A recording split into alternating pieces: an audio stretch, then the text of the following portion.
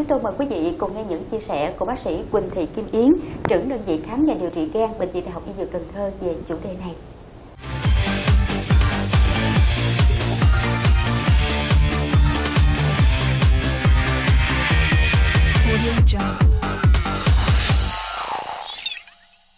À, thưa bác sĩ Yến, hội chứng gan phổi là bệnh như thế nào và bệnh có ảnh hưởng ra sao đến sức khỏe của người bệnh?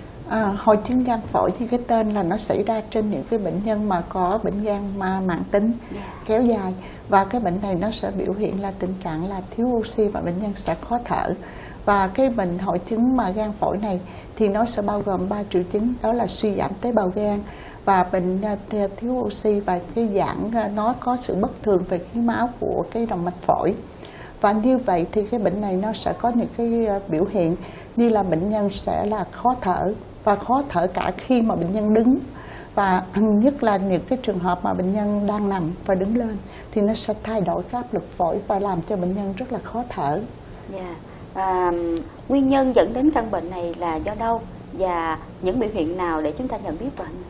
À, thường đa số những cái nguyên nhân mà à, đưa đến hội chứng gan phổi này thường là đa số là xảy ra ở trên những cái bệnh nhân mạng tính. Mà chúng ta không biết gì một cái nguyên nhân vì nó sẽ gây tổn thương ở gan mà chúng ta không điều trị hoặc là điều trị không đúng. Và nó sẽ chuyển tới nó dẫn đến những cái biến chứng nặng nề. Và khi mà nói tới hội chứng mà gan phổi là một cái giai đoạn cuối của cái bệnh gan và hầu như là bệnh nhân sẽ có những cái biểu hiện như là à, bệnh nhân sẽ có là à, cổ trướng và bệnh nhân sẽ là tích tụ dịch bệnh nhân thiếu máu hoặc là nó sẽ là à, cái cơ nó sẽ teo đi và một số trường hợp à, chúng ta sẽ thấy là bệnh nhân có cái à, những cái mạch máu mà li ti nhỏ như là cái mạng nhện ở bụng và người ta hay gọi là tuần hoàn ban hệ á Dạ. hoặc là cái tai nó có vùi trống hoặc là những cái bệnh nhân này nó sẽ đưa đến những cái triệu chứng như là xuất huyết, vân vân và như vậy thì rõ ràng là khi mà một cái bệnh nhân mà rơi vào một cái hội chứng gan phổi thì tình trạng rất là nặng Dạ.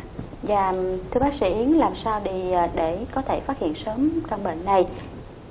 Một điều mà rất là đơn giản mà chúng ta à, khi mà đã đưa đến một cái hội chứng gan phổi thì hầu như là giai đoạn cuối rồi.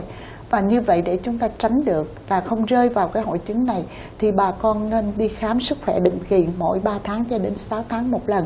Như vậy thì à, chúng ta sẽ phát hiện được là cái gan của chúng ta có bị tổn thương viêm do cái gì tại vì đa số những trường hợp mà nếu mà cái gan của chúng ta có à, bị viêm thì như tôi đã à, nói với bà con đó là hầu như là nó không có một cái triệu chứng gì báo trước hết á và hầu như đang khỏe mạnh như thế này Dạ. tự nhiên là bà con đi xét nghiệm người ta nói ừ à, là à, à, cô bác đã bị à, một cái hội chứng được gọi là hội chứng gan phổi. Và chúng ta ngạc nhiên nó ủa sao tôi vẫn bình thường không có gì hết? Và bây giờ nó trở nên tình trạng nặng như thế này. Do đó chúng ta phải khám sức khỏe để xem cái nguyên nhân mà à, tổn thương gan của chúng ta là do cái nguyên nhân gì và chúng ta phải điều trị. Và nếu chúng ta điều trị ngay từ đầu có những cái bệnh mà rất là đơn giản chúng ta có thể điều trị và chúng ta có thể phòng ngừa được. Thí dụ như là viêm gan siêu vi B thì chúng ta có thể phòng ngừa được bằng cách là chúng ta chích ngừa. Và nếu mà giai đoạn đầu tiên chúng ta cũng có thể là điều trị được để chúng ta ức chế siêu vi ngăn ngừa chuyển sang sơ gan và ung thư gan vân vân. Và có một số cái bệnh lý thí dụ như là à, những cái bệnh lý mà nhiễm độc của gan. Mà chúng ta biết nguyên nhân nhiễm độc là do gì thì chúng ta tránh như vậy thì chúng ta sẽ ngăn ngừa được cái bệnh nào chứng là gan phổi. Yeah. Vâng, à, xin được cảm ơn những à, chia sẻ của bác sĩ Quỳnh Thị Kim Yến ạ. Quý vị và các bạn thân mến, chúng ta vừa tìm hiểu về hội chứng gan phổi hay còn gọi tắt là HBS qua phần chia sẻ của bác sĩ Quỳnh Thị Kim Yến, trưởng đơn vị khám và điều trị gan Bệnh viện Đại học Y Dược Cần Thơ. Và thưa quý vị, đến đây thì chương trình Alo Bác sĩ xin được tạm dừng. Chúng tôi rất mong nhận được những ý kiến đóng góp của quý vị để chương trình ngày một gần gũi hơn, phong phú hơn. Mọi ý kiến xin quý vị gửi về email của chương trình alobacsi ct a gmail com Xin kính chào